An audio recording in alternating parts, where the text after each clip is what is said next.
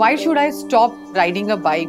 That is my passion. I feel independent when I'm riding on a road and I'm going anywhere. I feel like I'm flying. I came from a conservative family. They were like, don't ride a bike, you will fall somewhere and you will break your hand and leg, so nobody going to get married with you. But I said, I want to do more in my life. Something different. I want to leave my life fullest.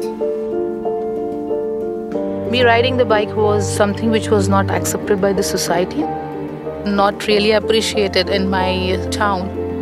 Biking in India has typically been a male dominated field. The first reaction that you'll get on the roads is the staring. People will just turn their heads and look at you.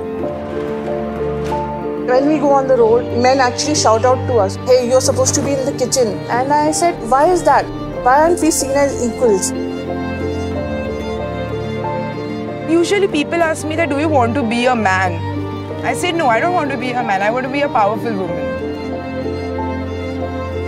So I decided to create an equal platform for women motorcyclists in India called the Bikerni. There are different kind of women here in this group. Different age, different family background, different professional life, and we are learning from each and every person their point of view. I'm getting motivate from them. I'm getting confidence. A Biker is part of a huge family, a family which does not judge each other. We are here together with the same love for motorcycles, with the same passion for travel.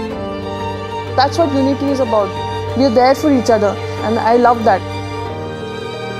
It makes you feel so free.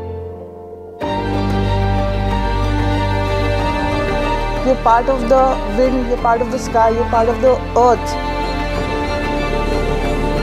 Everybody has their different passion. This is our passion. I would say I'm on the top of the world. what else do you need in your life? I mean, you have friends surrounded who just love to ride. I mean, that's amazing.